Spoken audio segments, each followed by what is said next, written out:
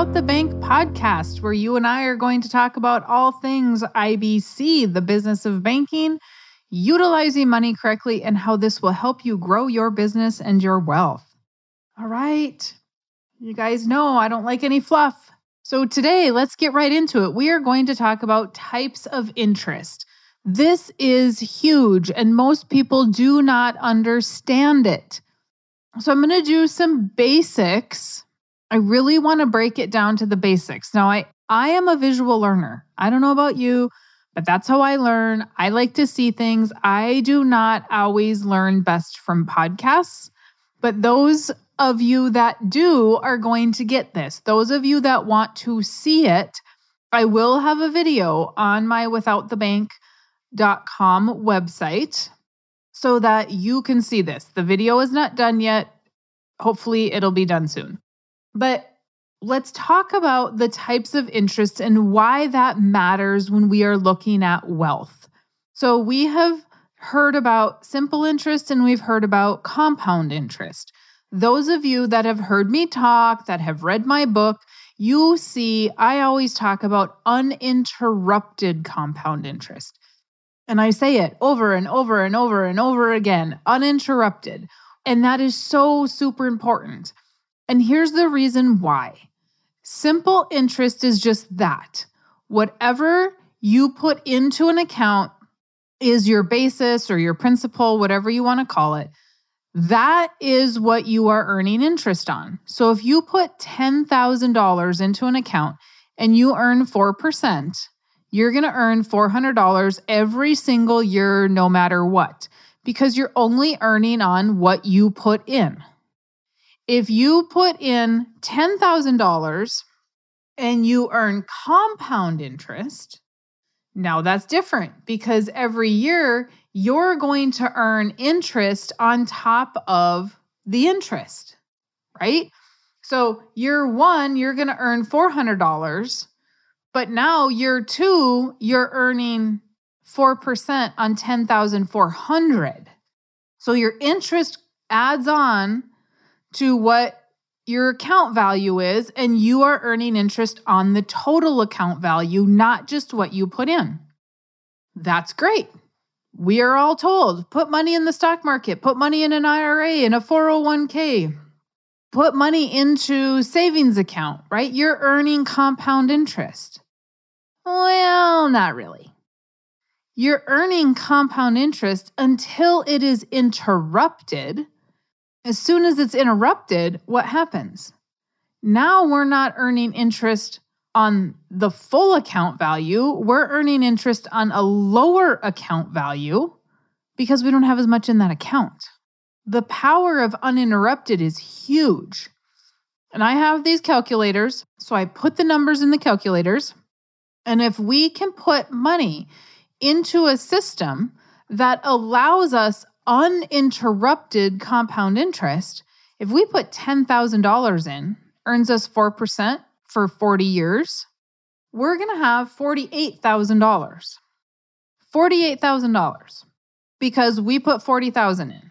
That's compounding every single year for 40 years. Now, what happens if we would interrupt that money. So the stock market is known to have a downturn every 10 years. So I just put in my calculator and said, okay, what if every 10 years I take out the interest? That's all I did. For 10 years, we're going to compound. Every 10 years, I'm just going to take out the interest. Well, every 10 years, then we start over with $10,000. At the end of 40 years, we didn't make anything. 400 bucks. That's it. Because we had to start over every single time. That's what happens when we interrupt the growth. If you put money in a savings account and you take money out of savings, you've interrupted any interest you were earning, even though it's basically nothing today. You're still interrupting that. If you own property, if you own a house, if you own a building, rental property, that property is accruing in value, ideally. the housing market doesn't crash, right? that property is accruing in value. You are gaining value, even while it is cash flowing for you if it's a rental property. You're making money, you're able to cash flow, you've got income coming in, and it's accruing in value. Same thing is happening inside of a life insurance policy. The policy is growing in value. The money remains liquid so we can borrow against it and use the life insurance company's money so we can go create a business. We can buy things that create cash flow, buy more real estate. Many people who have buildings, if you own a business and you rent the building to the business, if you own a business and a building, right, you're going to own the building separately in most cases so you can rent it back to the business. So let's just say that I have a property and that property is accruing in value. But I have a loan at the bank. So, what am I doing? I'm using the bank's money to generate cash flow for the business. Policy is the same way. If we're going to borrow money from the policy, we're going to have our death benefit as collateral rather than our building as collateral to the bank loan. Now, our death benefit is collateral. We still bought the building we're still able to rent it out and create cash flow, but we don't have to ask anybody permission of how to pay it back.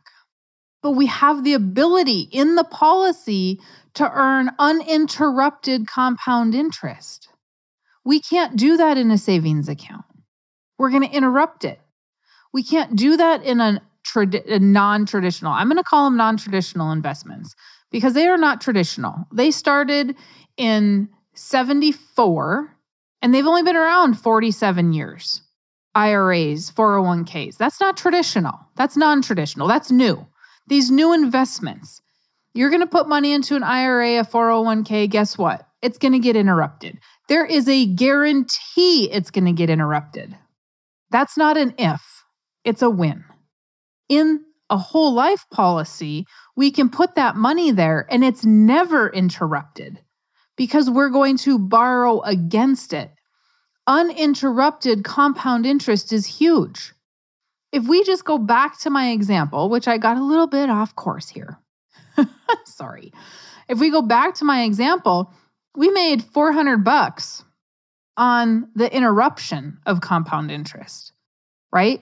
But if we would have just had simple interest, we would have made 16,000. That's kind of a big deal. Compound interest is the best. Simple interest is next. Interrupted compound interest, not a win for anybody. Why are we not understanding that? Why are we not being the, told the truth about what the interruption is causing us? I have so many clients who have not contributed to IRAs and they've just had investment setting 20, 30 years and they've not contributed. They put it there once and they're done. They haven't made anything. So, am I saying something out of context? When I see that happening all the time for people that don't contribute anything, they haven't made anything. And if they have, it's right now. But if the market crashes and we keep it in there, we have to be able to play that game. We have to be able to put it in, take it out whenever we know. What if we have a tool that allows us to do that? So many people do not understand this. If I have a Facebook ad running or I have something going, all I see are people that are completely misunderstood or have a misunderstanding, I should say, of what I am doing. Oh, she's selling life insurance. Well, no kidding, I'm selling life insurance in the efforts to teach you the infinite banking concept. The life insurance is the tool to the concept. The concept is the way, a different way to think about our finances. Because what we're being taught, this new way, isn't working. So, why can't we open our eyes to see that, yes, this involves life insurance, but what does the life insurance offer? it offers uninterrupted compound interest. Show me where you have another tool that gives us liquidity control and guarantees and uninterrupted compound interest. And I am happy to take a look at it. This is an and asset. We get to put our money here and we can put it someplace else. We can do other things with it. I had a client the other day that's making about an 18% rate of return in the market. He is handling his money himself. He is actually making money. I'm not going to say nobody ever makes money in the market. He understands what he's doing. So, why not put your money in the policy, have it uninterrupted, borrow against the policy, and invest in the market? And have the death benefit that we're going to buy discounted dollars on income tax free. And in some states, estate tax free. Why don't we do that? This is an and asset that's going to allow us uninterrupted compound interest. This is a big deal. Understanding the types of interest is important. We pay compound interest on credit cards. If you have a $10,000 balance on your credit card and they charge you $400 of interest that month, now you're paying interest on 10,400. This is why credit cards are so nasty because they're charging us compound interest. We want to earn compound interest. And when we understand how that works, we can create some wealth. It takes time to get there. Absolutely. This doesn't happen overnight. But understanding the basics of interest and how it works is not taught to us. We look at interest rates and say, oh, okay, that's good. We have a low interest rate. Interest rate matters to an extent. The type of interest is a heck of a lot more important to me than the rate.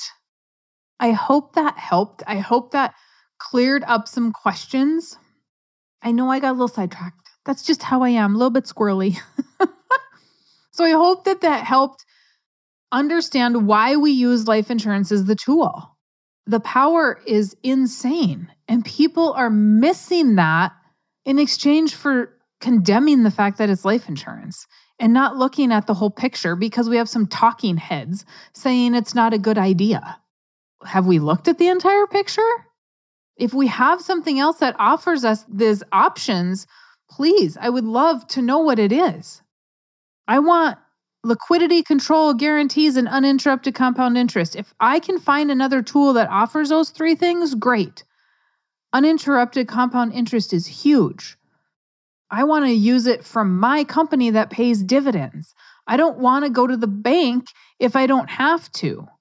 Now, there are times I'm going to go to the bank. Sometimes you just have to when we're getting started, right? It took Nelson years to get away from the bank. It's going to take us years to get away from the bank. We have to be patient. And really, as I always say, the bank should be plan B, not plan A. Let me know if you have comments, questions, concerns. I hear from you guys and I love it. I absolutely love it. Even if you're mad at me, I still love it. If you are enjoying the podcast, please leave a review. I very much would appreciate that. If you, I know we are in the early stages of this podcast. And so if you want more information right away and you don't care, go to my Farming Without the Bank podcast. I've got about 90 of them over there at the moment. And so you will have lots of Mary Jo time if you want it. Granted, a lot of that stuff is farming analogies, but at the end of the day, it all applies. So if you want more information in a faster manner, you can go there. If you have not gotten Life Without the Bank, please go on to withoutthebank.com, grab the Life Without the Bank book. I talk about uninterrupted compound interest in there. I'm showing you numbers, I'm showing you illustrations. It is what it is. I'm not going to lie about it. I'm not going to make it any better than it is. It just is what it is. It's life insurance. At the end of the day, that that's the tool, but we have to understand the concept. We have to understand why we're using it. And then you can go ahead and grab Nelson's Becoming Your Own Banker right away as well. Those two books are very good together. If you need me, Mary Jo at withoutthebank.com. I am happy to hear from you. I'm happy to hear suggestions of what you want to hear. But until next time, you have a absolutely fantastic rest of your day.